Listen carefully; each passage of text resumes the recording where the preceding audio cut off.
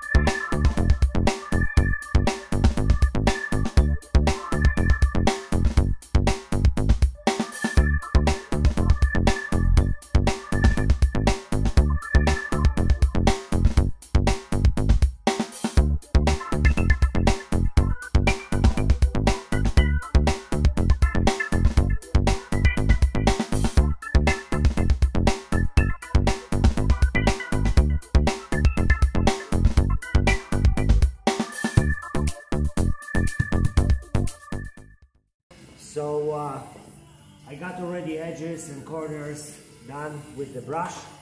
Okay, and uh, now I'm gonna use uh, the uh, roller.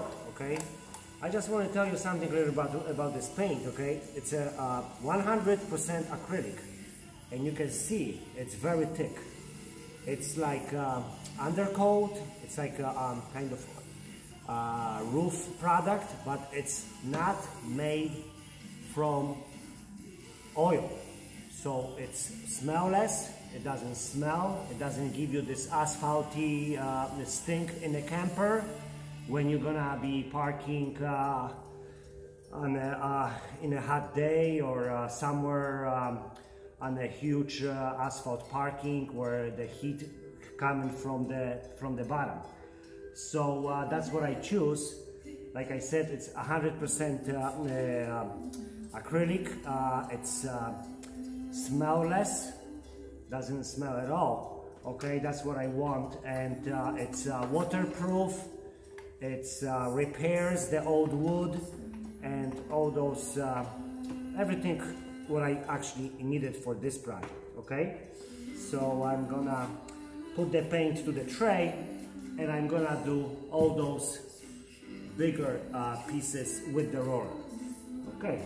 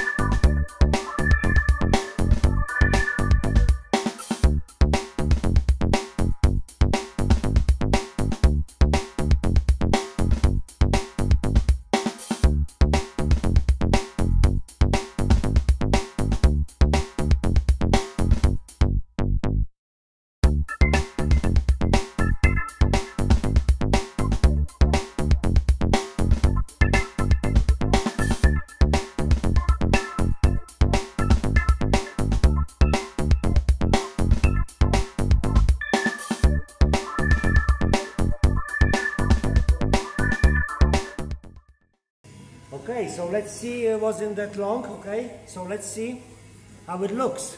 I don't think I'm gonna go for the second coat. This, this really covers uh, nicely uh, everything. So I'm very pleased with this, uh, with this paint. It's, uh, it's drying pretty quick, okay? And uh, like I said, it's waterproof. This is my uh, shocks okay? You can uh, you can see the bushings are making the noise. All this is kind of moving. So I will remove the bushings from inside. I will order the new ones. This is the uh, grease uh, fitting okay? I don't want to play with it. It's an old one so this will be exchanged. All this uh, shocks I will uh, brush it I will clean it put the uh, grease between so they don't squeak they don't make any noise. The bearings are actually in very good condition. Uh, they need only a little bit of lubricant okay? And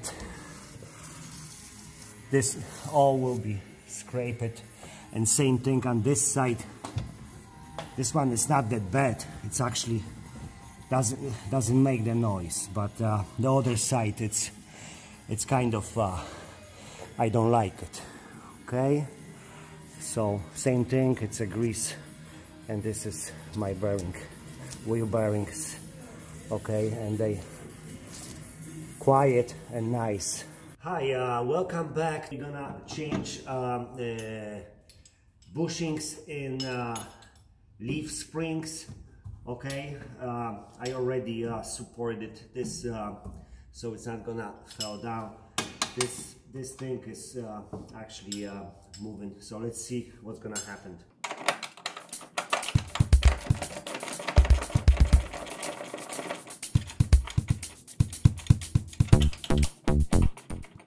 Okay so so we got this we got this uh, bushing okay uh, I'm gonna check how's the uh, rubber inside so let's do this.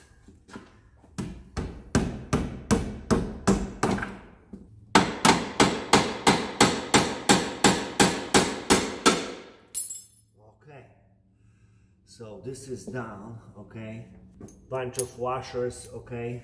Inside of this is the uh, rubbery metal bushing which actually uh, makes this bolt actually be tight but we can I can hear it I can feel it it's moving up and down. So we're gonna take this bushing out and put the new one. So this bolt will be actually nice and tight inside the uh, leaf spring okay? And we're gonna do the same thing on the other side.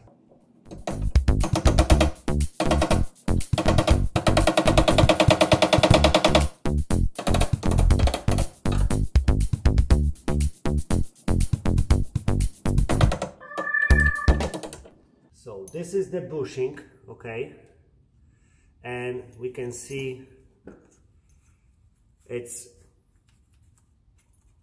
it's you know this bolt is kind of loose in it so we're gonna go to the local Napa uh, and we're gonna purchase uh, this bushing and uh, this uh, and this bolt new okay? And we're gonna place it you can see there are the extra pieces which are uh, which are which are broken so we're gonna measure this opening and like I said we're gonna go to the local uh, shop and purchase uh, all new bushing and the bolt thank you for joining me today. We have uh, bottom of the camper uh, nicely primed.